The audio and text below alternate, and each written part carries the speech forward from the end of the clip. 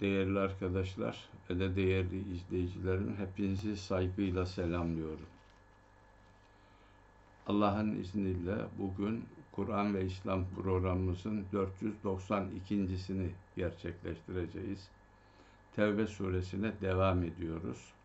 73. ayete kadar gelmiştik. Ben bundan önceki sohbetimizde okuduğumuz ayetlerin e, konularını size kısaca bir arz edeyim. Dünyaya ait değerlerin Allah, elçisi ve cihattan daha sevimli olması durumunda her türlü felaketin geleceği.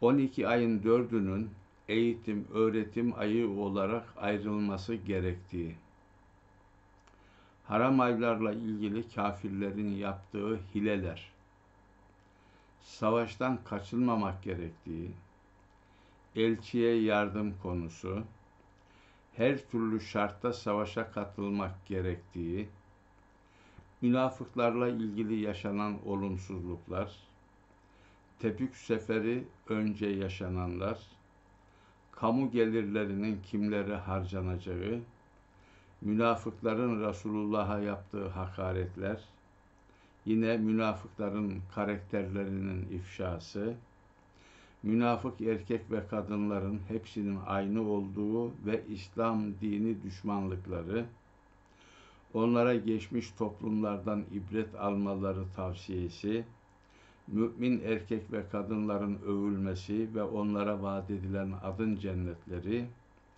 Allah rızasının tüm cennetlerden daha değerli olduğu. Evet, bunları işlemiştik. Şimdi 73. ayete geldik. 73'ten 80'e kadar bir necim. Onu öyle takdim edeceğim. Ey peygamber! İnkarcılar ve münafıklar ile cihad et. Onlara karşı çaba göster. Ve onlara karşı sert ol. Onların barınma yerleri de cehennemdir. Ve o ne kötü bir oluş yeri, son duraktır. Onlar söylemediklerine Allah'a yemin ederler. Halbuki onlar küfrü, yani Allah'ın ilahlığını ve Rabliğini bilerek reddetme sözünü kesinlikle söylediler. İslamlaşmalarından sonra da kafir yani Allah'ın ilahlığını ve Rabliğini bilerek birileri oldular. Ve ulaşamadıkları, sahip olmadıkları şeyleri çok istediler. Onlar sadece Allah'ın ve elçisinin müminleri Allah'ın armağanlarından zenginleştirmiş olmasından kinlendiler. Artık eğer hatalarından dönerlerse kendileri için hayırlı olur. Eğer geri dururlarsa da Allah onları dünyada ve ahirette çok acıklı bir azab ile azaplandıracaktır. Yeryüzünde onlar için bir koruyucu, yol gösterici, yakın ve iyi bir yardımcı da yoktur. Ve onlardan bazıları eğer Allah'ın armağanlarından bize verirse ve eğer Allah armağanlarından bize verirse kesinlikle bağışta bulunacağız ve kesinlikle iyilerden olacağız diye Allah'a söz veren kimselerdir. Sonra ne zaman ki Allah onlara armağanlarından verir, ondan cimrilik ederler ve me mesafelenerek geri dururlar. Sonunda Allah'a vaat ettikleri şeylerde sözlerini tutmadıkları ve yalan söyledikleri için o da kendisiyle karşılayacakları güne kadar kalplerinde sürüp gidecek bir münafıklık yerleştirerek onları cezalandırdı. Şüphesiz onlar müminlerden sadakalardan kendi gönülleriyle bağışta bulunanlara ve güçlerinin yettiğinden fazlasını bulamayanlara dil uzatan, sonra da onlarla alay eden kimseler, Allah'ın onların sırlarını ve fısıltılarını bilip durduğunu ve şüphesiz Allah'ın bütün bilinmeyenleri bütün bilinmeyenlerin çok iyi bilicisi olduğunu bilmediler mi? Allah onları maskaraya çevirmiştir ve onlar için çok acıklı bir azap vardır. Evet, burada bu pasajda da yine ayetlerde Allah elçisine kafir ve münafıklarla cihad etmesini e, ve o münafıkların da kafirlerin de tutumlarını, davranışlarını, işlerinden geçirdiklerini hepsini burada Cenab-ı Hak bir bir döktü, ifşa etti, sırlarını bildirdi. Evet. Son ayeti veriyorum burada bu necimden. Onlar için ister bağışlanma dile, ister dileme. Onlar için 70 kere bağışlanma dilersen de yine Allah onları bağışlamayacaktır. Bu onların Allah'ı ve Resulünü kabul etmemeleri nedeniyledir. Allah hak yoldan çıkmışlar toplumuna kılavuzluk etmez. Ayetler net. Kafir, münafık kesinlikle affa mazhar olmayacak. Mutlaka cezasını çekecek. Çünkü onlar dünyada e, malla, mülkle, evlatla, makamla, mevkiyle kendilerinin cenneti yaşadıklarını zannediyorlar zaten. Şimdi diğer bir necime geldik. 81-82 diye ayetlerden oluşuyor. O geri bırakılanlar yani savaşa katılmayanlar Allah'ın elçisine karşıt olarak oturmalarıyla ferahladılar ve mallarıyla, canlarıyla Allah yolunda çaba harcamaktan hoşlanmadılar. Bir de bu sıcakta savaşa çıkmayın dediler. De ki cehennem ateşi daha sıcaktır. Keşke iyice kavrayıp anlayabilselerdi. Artık kazandıkları günahın cezası olarak çok az gülsünler, çok çok ağlasınlar. Evet, onlara kısaca münafıklara da böyle bir mesaj bu Necim'de. Bu ara şunu söyleyeyim. Yani hani Tevbe suresindeki bu ayetler, bu necimler uzun süre içerisinde yani belki birkaç yıl içerisinde inmiş. Ama böyle birlikte toparlandığından e, burada biz beraber sunuyoruz ister istemez Musaf'a göre bunları sunuyoruz. Gönül ister ki Tevbe suresindeki ayetleri bir de yani tarih kitaplarındaki burada konu edilen Tebük seferi, diğer seferler, münafıkların genel durumuyla ilgili de bilgiler edinelim. Ondan sonra da bu ayetleri okuduğumuz zaman daha da iyi, daha da güzel anlamış oluruz. Tekrar geliyoruz başka bir necime. Bu necimde yine 83-85'ten oluşan, 3 ayetten oluşan bir necim. Eğer Allah seni onlardan bir taifenin yanına döndürür de onlar çıkmak için senden izin isterlerse de ki artık siz hiçbir zaman benimle beraber asla çıkmayacaksınız. Ve hiçbir zaman benimle birlikte düşmanla savaşmayacaksınız. Şüphesiz siz ilkinde oturup kalkmaktan hoşlanıyordunuz. Artık geride kalanlarla beraber oturup kalın.'' burada münafık bilinebilecek kimselerin artık Müslümanların arasında savaşa falan gitmeleri yasaklandı. Ve onlardan ölen biri için destek olma, onun kabrinin üzerine dikilme. Şüphesiz onlar kafir yani Allah'ın ilahlığını, Rabliğini bilerek reddeden, onun elçisinin gerçek elçi olduğunu bilerek reddedenlerdir. Ve onlar hak yoldan çıkmış olarak ölmüşlerdir. Onların malları ve evlatları da seni imrendirmesin. Allah ancak onları dünyada bunlarla cezalandırmayı ve onlar kafir yani Allah'ın ilahlığını, Rabliğini bilerek reddeden biri iken canlarını güçlükle çıkmasını istiyor. Evet, burada da yine münafıklara ve kafirlere karşı uyarılar yapılacak siyasi uygulamalar özellikle bu emirlerin kamu otoritesine, Resulullah'a verildiğini düşünecek olursak, Resulullah'ın da o ülkenin başkanı olduğunu düşünecek olursak, bunun bir kamu görevi. Burada özellikle 84. ayette onlara destek olmak, kabrinin üstünde durma. Orada dikilme emri var. Burada hani daha önce şimdi yozlaştırıldı cenaze namazı diye ya işte o ölen kişinin başında durulur kabirde yetimi var mı, ailesi nedir, harcı nedir, borcu nedir bu konuların kamuca karşılanması, sorunların çözülmesi yönünde bir girişimdi. Bunu Cenab-ı Hak münafıklar için yapılmamasını istedi. Evet. Ve arkadan da yeryüzünde yani yaşanılan çağda onlar infak etmediklerinden, onlar her türlü kazancı kendilerine helal gördüklerinden varlıklı olabilirler, zengin olabilirler. Onların on, zenginliklerine de göz dikme, onlara da imrenme diye de uyarı var. Evet yeni bir necime geçtik. 86-89 ve Allah'a iman edin ve elçisiyle birlikte cihad edin, çaba harcayın diye bir sure indirildiği zaman onlardan güç yani mal, mülk, evlat sahibi olanlar senden izin istediler. Ve bırak bizi oturanlarla beraber olalım dediler. Geri kalanlarla birlikte olmayı seçtiler. Onların kalpleri de damgalandı, mühürlendi. Artık onlar iyice kavrayıp anlamazlar. Fakat elçi ve onunla beraber olan inanmış kimseler mallarıyla, canlarıyla çaba harcadılar. Ve işte onlar bütün hayırlar kendilerinin olanlardır.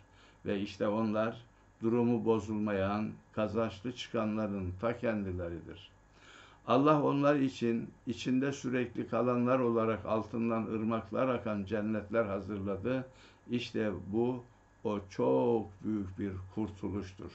Bu da müminlere yapılmış bir müjde. Evet, yine savaş ortamında savaşa canıyla, malıyla katılma noktasıyla ki olan ayetlerdir bunlar. Şimdi yine bir başka necim, ayrı bir zamanın, ayrı bir ortamın inmiş ayetleri 90'dan 99'a olan ayetler. Şimdi Bedevi Araplardan özür beyan edenler kendilerine izin verilmesi için geldiler. Allah'a ve elçisine yalan söyleyenler de oturup kaldılar. Bunlardan kafirlere yani Allah'ın ilahlığını, Rabliğini bilerek reddeden biri olan kimselere yakında çok acıklı bir azap dokunacaktır. Şimdi e, burada size bir konuyu burada bir sözcük üzerinde kısa bir açıklama yapayım. Burada Arap diye bir ifade var. Bunu çoğu meal ve tefsirlerde Bedeviler diye çevrildiğini görürsünüz. Şimdi Bedeviler dediğimiz zaman o sözcüğün anlamını tam ifade etmiş olamıyoruz. Bu Arap, el Arap sözcüğü harbi Arap yani gerçek Arap hiç asimile olmamış.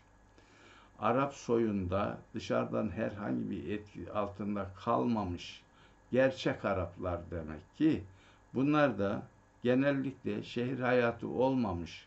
Mesela Arap dediğimiz zaman Mekke, Medine Arap'tır ama oralar hani şehirleştiğinden dolayı başka kültürlerin dış kültürlerin etkisinde olan toplumlardı. Ama bu El Arap dediğimiz kesim, harbi Araplar şehirleşmemişler. Bunlar bedevi yani çadırda yaşayan kimselerdir. Göçebe kimselerdir. Bunlar herhangi bir toplumun dilinden, dininden etkilenmiş değil. Bunlar kaba, saba, mert ama yani böyle bir kesimdir. Harbi Araplar demek. Onun için biz burada bunu ifade ederken Bedevi Araplar dedik. Yani çadırda yaşayan Araplar. Bedeviler demedik, sadece Araplar da demedik. Sadece Bedeviler deseydik, bunların dışında yine çadırda yaşayan başka kesimde vardı. Yani onların, onun için onlar da buna girerdi. Halbuki katmamak lazımdı. Onun için biz bu sözcüğü Bedevi Araplar diye çevirdik. O şekilde sizlere takdim ettik bilginiz olsun. Evet, Allah ve elçisi için samimi oldukları takdirde zayıflara, hastalara ve de harcamada bulunacak bir şey bulamayan kimselere bir de kendilerini bindiresin diye sana geldiklerinde sizi üzerine bindirecek bir şey bulamıyorum dediğin zaman Allah yolunda harcayacakları bir şey bulamadıklarından dolayı üzülüp gözlerinden yaş döke döke geri dönüp giden kimselere bir vebal sıkıntı yoktur. İyilik, güzellik üretenler aleyhine bir yol yoktur. Allah çok bağışlayandır, çok merhamet edendir. Burada bir de garibanlıktan dolayı Resulullah'a gelip verecek malım yok. Savaşa katılacak ama ne ile katılacağım? Bir şeyim yok deyip teslimiyet gösteren gerçek müminlere. Hatta hatta öyle bir konu diyor ki burada Cenab-ı Hak açıkça böyle. Sana geldi biz hazırız ya Resulallah. Cihada gideceğiz, savaşa gideceğiz dediği zaman iyi ama sizi bindirecek bir atım yok, bineğim yok. Size verecek herhangi bir böyle sizi ayakta tutacak bir şeyimiz de yok dediğin zaman gözlerinden yaş döke döke giden adamlar var ya onlar da saygın adamlardır ve savaşa katılamadıklarından dolayı cihada gidemediklerinden dolayı da herhangi bir suçları söz konusu değil. Onlar da mazurdur diyor. Demek ki Resulullah neler yaşamış. İslam dinini tebliğ etmek ve bize ulaştırmak için ne çileler çekmiş. Bu ayetin fotoğrafı bize yeter ve artar. Yol ancak zengin oldukları halde senden izin isteyen o kimselerin aleyhinedir. Sorumluluk zengin oldukları halde atı var, silahı var, zırhı var, mızrağı var, oku var, parası var, pulu var ama kaçıyor. İşte o sorumlu. Bunlar geride kalanlarla birlikte olmaya razı oldular.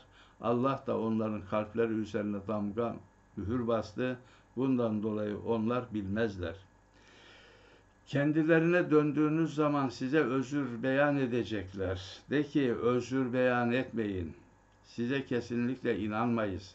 Allah bize sizin haberlerinizden önemli haberler verdi. Bundan sonra da Allah ve elçisi işinizi görecektir. Daha sonra da görünmeyeni ve görüneni bilen Allah'a döndürüleceksiniz. Sonra da o size yapmış olduklarınızı haber verecektir. İşte o savaş ortamlarında sıvışıp kaçanlar gelip beyan et, özür diledikleri zaman ha, özür dileme, zahmet etme. Sen bir sürü yalan uyduracaksın şimdi. Halbuki sizin neler yaptığınızı, ne amaçla kaçtığınızı, neler düşündüğünüzü Allah bize haber verdi de. Kendilerine döndüğünüz zaman onlardan mesafelenmeniz için size Allah'a yemin edecekler. Siz de onlardan hemen mesafelenin. Şüphesiz onlar kirlidir, pislenmiştir. Kazandıklarının cezası olarak varacakları yerde cehennemdir. Kendilerinden razı olasınız diye size yemin ederler. Artık eğer siz onlardan razı olursanız da bilin ki Allah şüphesiz hak yoldan çıkmış o kimseler toplumundan razı olmaz. Evet, bu ayetlerde de işte topyekün münafıkların A'dan Z'ye kadar e, durumları bize beyan edildi ve bize açıklandı. Evet, devam ediyoruz burada. Yine Bedevi Araplar. Burada Arap dediğimiz şu ifade var yine. Allah'ın ilahlığına ve Rabliğine inanmama ve münafıklık bakımından daha çetin, Allah'ın elçisine indiril, indirdiklerinin sınırlarını bilmemeye, öğrenmemeye daha yatkındırlar. Allah da en iyi bilen, en iyi ilke koyandır. Bedevi Araplardan kimi de var ki, kamu yararına harcadığını zorla ödenmiş borç sayar ve size belalar gelmesini bekler. O çirkin bela kendi üzerlerine ve Allah en iyi iştendir, en iyi bilendir. Yine Bedevi Araplardan kimi de vardır ki onlar Allah'a ve ahiret gününe inanır ve harcadığını Allah katında yakınlıklar ve ilçinin destekleri sayar. Gözünüzü açın. Şüphesiz bu onlar için bir yakınlıktır. Allah onları yakında rahmetine girdirecektir. Şüphesiz Allah kullarının günahlarını çok örten, onları cezalandırmayan ve bağışı bol olandır. Engin merhamet sahibidir. Evet, burada birinci ayette 97'de yani Bedevi Arapların yerleşik kesime karşı onlara göre yani daha dik başlı, vahşi, yabani bir olduğu, sert oldukları bildiriliyor. Ondan sonra da onların değişik grupları var. Çıkarcıları var. Evet. Şimdi üç kuruş kamu yararına bir şey verdiği zaman onun boşa gittiğini, şey yaptığını ve ve içinden de tamam verdim ama Allah bunların belasını versin, bunları çok musibetler getirsin diye beddua ettiklerini ama belirli bir kesiminin de yine vardır ki Allah'a, ahiret gününe inanır ve Allah katında verdiklerini de Allah'ın kendisine yaklaştıracağı yani Rabbinin rızasını kazanacağını da umarlar diyor. Yani o Bedevilerden böyle yani Arap'tan, Bedeviler demeyeyim, Bedevi Araplardan böyle bir kitlenin de vardığını Cenab-ı Hak bize burada aşikara bildiriyor. Evet yine bir başka Necim. Yine farklı bir ortamda düşünelim bunu da. Evet yüzden 106'ya. Muhacir ve ensarın bazılarından ilk önce öne geçenler ve iyileştirme, güzelleştirme ile onları izleyen kimseler. Allah onlardan razı oldu, onlar da ondan razı oldular. Ve Allah onlara işlerinde temelli kalıcılar olarak altlarından ırmaklar akan cennetler hazırladı. İşte bu büyük bir kurtuluştur.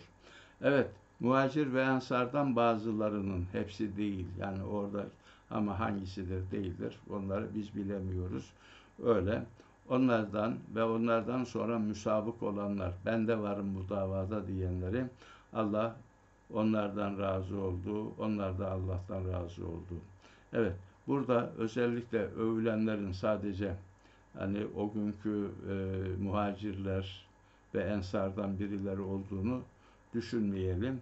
Bu her zaman içi yani özellikle ilahi kelimetullah için müsabık olan ben de varım deyip öne çıkanların hepsi aynı Allah'ın bu övgüsüne layık kesimdir. Öyle kimselerdir. Ve yanınızda Bedevi Araplardan münafıklar var. Ve Medine halkından da münafıklığa iyice alışmış olanlar var. Onları sen bilmezsin. Biz biliriz onları. İki kez azap edeceğiz onlara, sonra da çok büyük bir azaba döndürülecekler. Diğerleri de günahlarını itiraf ettiler.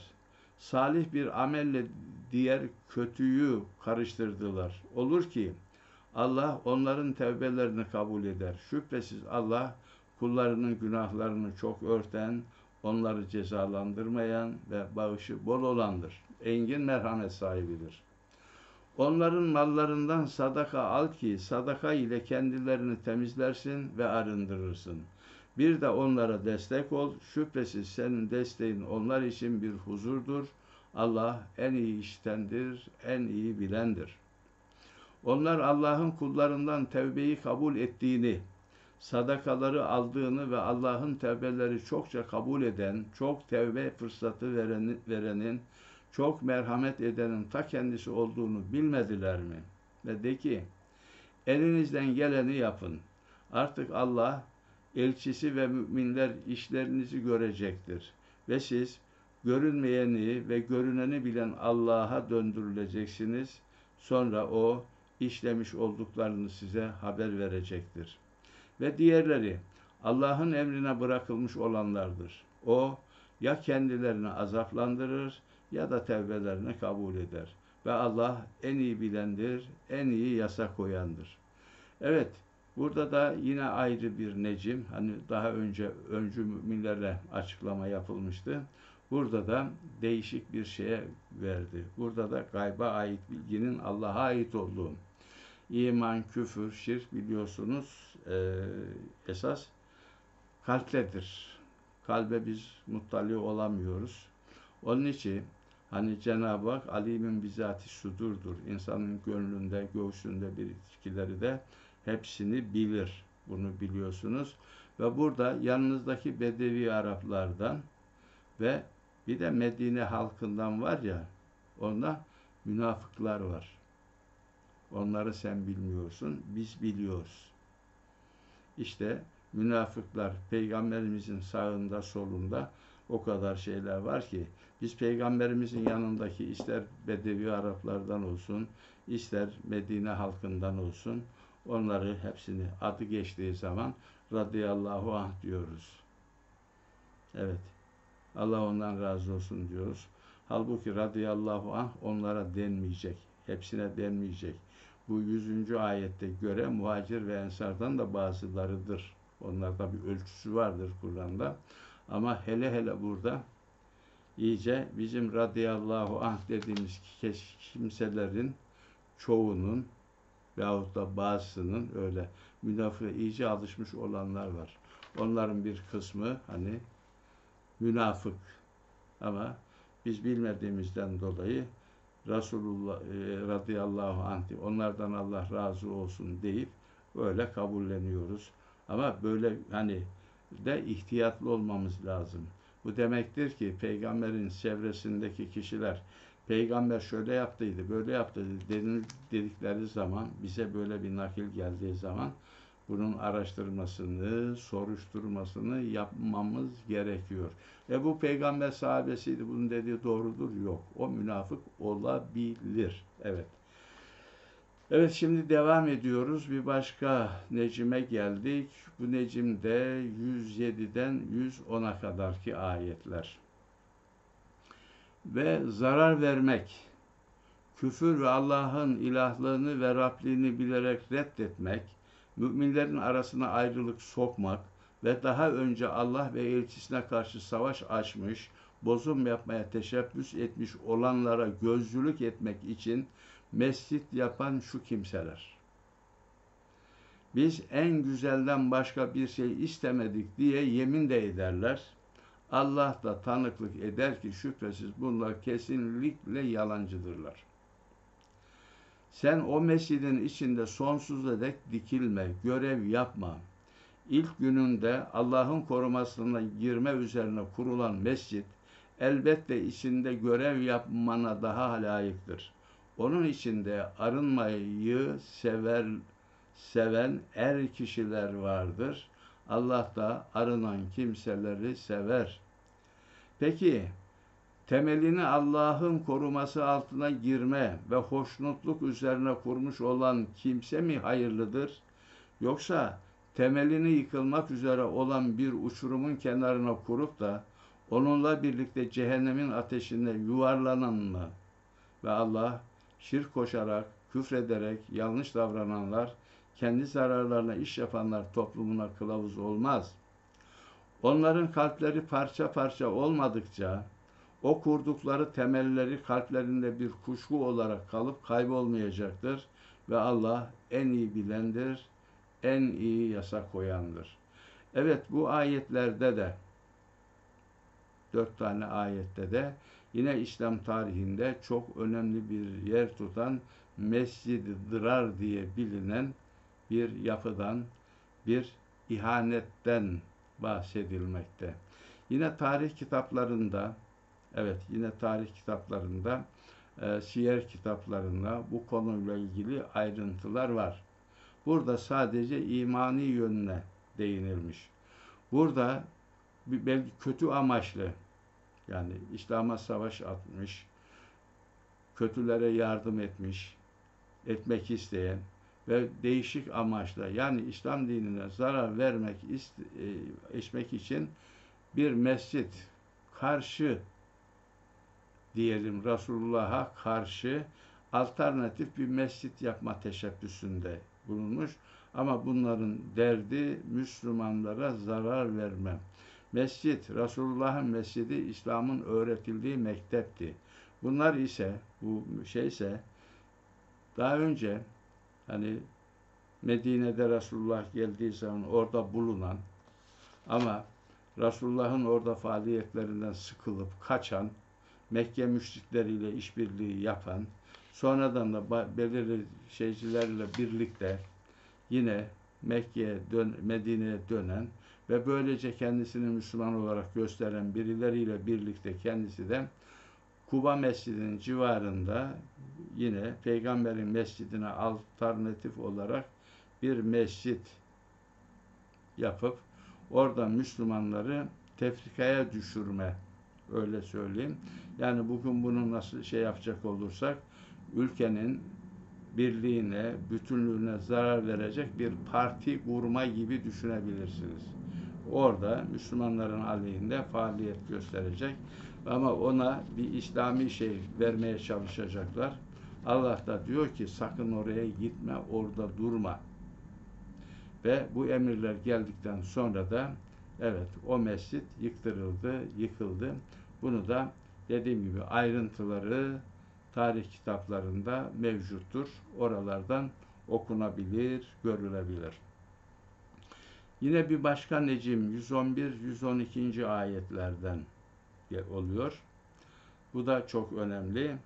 Şüphesiz Allah tevbe eden, kulluk eden, övgüde bulunan, seyahat eden, Allah'ı birleyen, boyun eğip teslimiyet gösteren, herkese kabul gören, iyi şeyleri emreden, kötü olan her şeyden vazgeçiren, Allah'ın hududunu koruyan, inananlardan canlarını ve mallarını şüphesiz cenneti onlara verme karşılığında satın almıştır.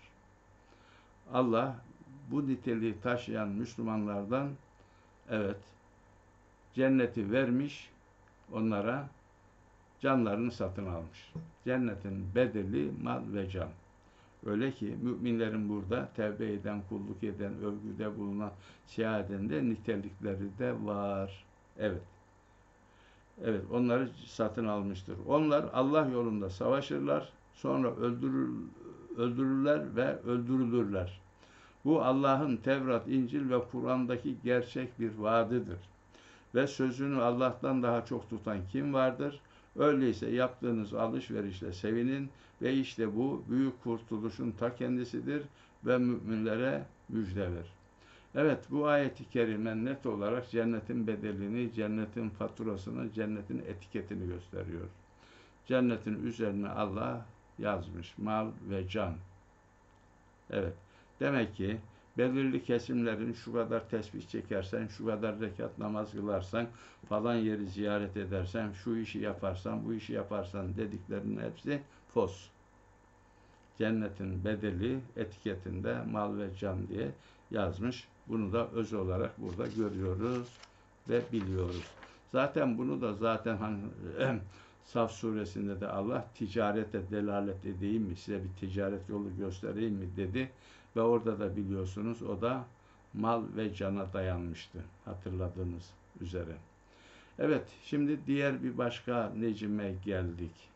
O da 113-116'dan oluşuyor. Kendilerine cehennem ashabı oldukları iyice belli olduktan sonra peygambere ve iman etmiş kişilere akraba bile olsalar ortak koşanlar için bağışlanma dilemek yoktur. İbrahim'in babası için bağışlanma dilemesi de yalnızca ona vermiş olduğu bir sözden dolayıydı. Sonra onun Allah için bir düşman olduğu kendisine açıkça belli olunca ondan uzaklaştı. Şüphesiz İbrahim çok işli, çok halim birisiydi. Allah bir topluma doğru yolu gösterdikten sonra kendisinin koruması altına girdirecek şeyleri kendilerine ortaya koymadıkça onları saptırmaz. Şüphesiz Allah her şeyi en iyi bilendir. Hiç şüphesiz Allah göklerin ve yeryüzünün mülkü yalnızca kendisinin olandır. O diriltir ve öldürür. Sizin için onun aslarından bir yol gösterici, koruyucu, yakın ve bir yardımcı yoktur. Evet bu ayetlerde de net. Müşrik olduğu kesin olarak bilinen kesimler için hayır duada bulunulmaması, onlar için istiğfar edilmemesi gerekir. Akla gelebilir işte zaten öyle şey yapıyor. İbrahim'in babası için bir istiğfar etmesi söz konusu idi. Bu, onda şöyle söyleyeyim. Onda şu ara 83-86, İbrahim 35-41, Meryem 47-48, Mümtehine 4-5. ayetlerde görmüştük. İbrahim bir söz verdiydi, onu yapmaya çalıştı ama sonradan kendisine babasının müşrik olduğu evet net olarak bildirildikten sonra ondan uzaklaştı, vazgeçti. Burada Cenab-ı Hak bize de müşriklerle ilgili nasıl bir tavır alacağımızı aşikara bildirdi ve hatta İbrahim'i de örneklemiş oldu. Başka bir necime geçtik. 117-119 Andolsun ki Allah peygambere ve en zor saatinde ona uyan muhacirlere ve ensara kendilerinden bir kısmının kalpleri az kalsın kayacak gibi olmuşken tevbe nasip etmiş, sonra da onların tevbelerini kabul etti. Şüphesiz o onlara çok şefkatlidir, çok merhametlidir. Şimdi ben bu ayetle ilgili kısa bir değini yapıvereyim. Çünkü fazla şeye gerek yok. Hani bu surede yine Allah size birçok yerde yardım etmişti dedikten sonra Huneyn gününde de demişti. Huneyn Savaşı'nda. Huneyn Savaşı'nda hani biliyorsunuz yani e, müminlerin çok kalabalık olduğu 12 bin kişi ötekilerinde 3-4 bin kişi oldu. Bizim e, müminlerin kendilerinin çokluğuna güvenerek savaşa girdikleri hemen alırız dedikleri ama kaybettikleri bir savaştı. Perişan olmuşlardı orada. Ondan yani çokluk bir işe yaramamıştı. Öyle söyleyeyim. İşte oraya değiniyor. En zor saat, en zor geçirilen vakit onu bahsediyor burada. Ama sonradan muhacir ve ensarın burada kendilerinden bir kısmının onların galeyana gelmesiyle kendiliğini toparlamasıyla İslam ordusu Huneyn'de de savaşı lehlerine çevirmişlerdi biliyorsunuz. Ona değiniliyor. Evet o var. Geri bırakılanlardan o üç kişinin de tevbelerini kabul etti. Öyle ki yeryüzü bütün genişliğine rağmen onlara dar gelmeye başlamıştı. Benlikleri de kendilerini sıkıntıya sokmuştu. Allah'tan kurtuluşun ancak Allah'a sığınmakla olduğunda iyi iyice inanmışlardı. Sonra Allah onlara dönmeleri için tevbe nasip etti ve tevbelerini kabul etti. Şüphesiz ki Allah tevbeleri çokça kabul eden, çok tevbe fırsatı verenin, çok merhametli olanın ta kendisidir. Evet, bu ayetlerde de yine bahsedilen hani şöyle daha önce Ensar'dan geri muhacir ve ensardan geri bırakılanlar diye bir ifade var. Burada da yine o savaşa katılmaktan geri kalıp sonradan da pişman olup tevbe edip Resulullah'a yanaşanlar var ki tarihi kaynaklarda bu üç kişi öyle şey yapayım. Ensardan Kâb bin Malik, Amiroğullarından Muarre bin Rebi ve Vakfoğullarından Hilal bin Ümeyye'dir. Evet, tüm tarih kitaplarında da bu uzun uzun yani bu olay anlatılır.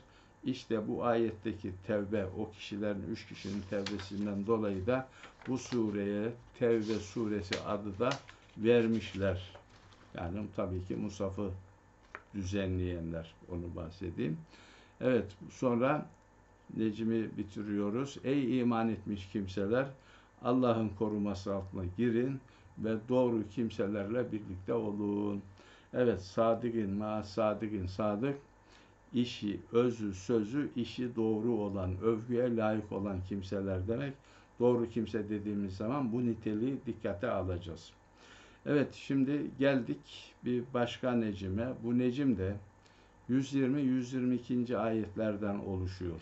Yine bunun da 10 gün sonra, 15 gün sonra, bir ay evvel, iki ay evvel e, indi ol, inmiş olduğunu düşünün. Önüyle arkasıyla bağlamaya çalışmayalım.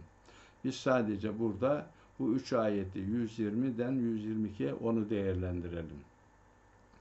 Medine halkı ve Bedevi Araplardan civardakiler için Allah'ın elçisinden geri kalmaları ve onun canından evvel kendi canlarını düşünmeleri olacak şey değildir. İşte bu Allah yolunda isabet eden bir susuz kalış, her yorgunluk ve her açlık kafirleri yani Allah'ın ilahlığını, Rabliğini bilerek reddedenleri öfkelendirecek olması, ayak bastıkları her yer ve düşmana karşı elde ettikleri her başarı karşısında kendilerine kesinlikle salih bir amel yazılmış olması, Allah yolunda yaptıkları küçük ve büyük her harcama ve geçtikleri her vadi karşılığında kesinlikle kendileri için yaptıkları için daha güzelliğiyle Allah'ın kendilerini ödüllendirmesi yazılmış olması sebebiyledir. Şüphesiz Allah iyilik, güzellik üretenlerin ödülünü kaybetmez. Müminlerin önlem almaları için hepsinin birden topyekün ayrılmaları, seferber olmaları da olmazdı. Öyleyse dinde derin bilgi elde etmeleri, toplumları kendilerine döndükleri zaman onları uyarmaları için onların her kesiminden bir grubun ayrılmaması gerekmez miydi? Yine bu da savaş ortamında gelmiş bir ayet. Müminlerin her yerde yani yaptıkları her hareket, gittikleri yolsuzlukları, açlıkları, çektikleri çile, yorgunlukların hayda değişeceğini ifade ettikten sonra yine savaş hukuku döneminde müminlerin her türlü önlemi aldıktan sonra topyekün hepsinin sefere değil, özellikle bir ilim ehlinin, fıkıh ehlinin geride kalıp toplumu eğitmesi, özellikle savaştan dönmüş kişilerde din dersi, din öğretmeleri gerekir diyor Cenab-ı Hak. Burada da ayrıca bir siyasi noktayı bize belirtmiş oluyor. Yine bir Necim 123. ayet. Ey iman etmiş kimseler! inkarcılardan tehlike oluşturan kişiler ile savaşın ve siz de bir sertlik bulsunlar ve şüphesiz Allah'ın kendi koruması altına girmiş kimseler ile birlikte olduğunu biliniz. Mesaj bu kadar. Gelmiş Peygamber Efendimiz de bir ortamda bunu topluma deklara etmiş, yazmış, yazdırmış, tebliğ etmiş. Mesaj net. Evet, başka bir necime geçiyoruz. 124-127 Ve bir sure indirildiği zaman işlerinden bir kimse o indirilmiş sure hanginizi iman açısından güçlendirdi der. Fakat iman etmiş kimselere gelince o inen sure onları iman açısından ziyadeleştirmiştir, güçlendirmiştir ve onlar sürekli olarak müjdelenip duruyorlar. Kalplerinde bir hastalık olanlara gelince de onların da pisliklerini içine pislik ilave etmiştir ve onlar kafir, Allah'ın ilahlığını, Rabbini reddeden birileri olarak ölmüşlerdir. Onlar her yıl bir veya iki kere şüphesiz kendilerinin acı olaylar ile de denendiklerini görmüyorlar mı? Sonra da tevbe etmiyor ve öğüt almıyorlar. Bir sure indirildiğinde bazı bazısına bakar. Sizi bir kimse siz bir kimse görüyor musunuz? Sizi bir kimse görüyor mu? Sonra sırt çevirip giderler. Gerçekten onlar iyice anlamayıp kavramayan bir topluluk olmaları dolayısıyla Allah onların kalplerini çevirmiştir. Evet yine burada da açıkta kafirlerin yani her sure gelişinde değişik değişik niteliklerle Müslümanlara karşı yaklaşımları açık ara bildiriliyor. E ama müminlerse hep takvalı olma gibi şey olacak. Müminlerin işte tekrar edeyim burada topyekun sefere çıkmaları değil, özellikle ilim ehlinin geride kalması gerektiği noktasında da uyarılar var. Evet, bir necim yine 128. ayet. Andolsun içinizden size sık, içinizden size sıkıntıya uğramanız halinde ağır gelen, size düşkün, sadece insanlara çok şefkatli, inananlara çok şefkatli, kolaylık sağlayan, çok merhametli bir elçi gelmiştir. Yine cümle aleme evrensel bir duyuru, ensel, evrensel bildiri. Andolsun içinizden size sıkıntıya uğramanız kendisine ağır gelen, size düşkün, sadece inananlara çok şefkatli, çok kolaylık sağlayan, çok merhametli bir elçi gelmiştir diye peygamberin misyonunu, kimliğini, kişiliğini özellikle yani iç yapısını da burada aşikara bildiriyor. Şimdi burada bir şey nokta var. Bazı kimseler bu ayetteki Rauf ve Rahim sözcüklerin Allah'ın sıfatı olduğundan bu peygambere bu sıfatlar verilmez tarzında bir şeyleri vardır. Buradaki şey cümlede hem kasır vardır hem de de yani bunlar lamu tarifsizdir. Yani bu sıfatlar Rauf, Rahim sözcüklerinin hepsi kullar içinde kullanılabilen sözcüklerdir. Şimdi Allah'ın rahimliği tüm insanlaradır, tüm evrenedir.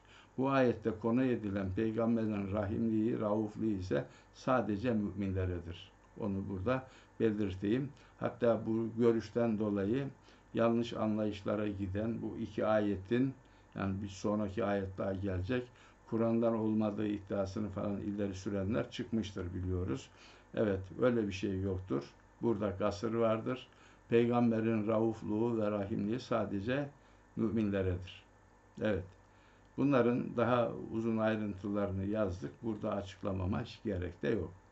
Buna rağmen eğer uzaklaşırlarsa hemen de ki bana Allah yeter, ondan başka ilah diye bir şey yoktur. Ben sadece ona işin sonucunu havale ettim.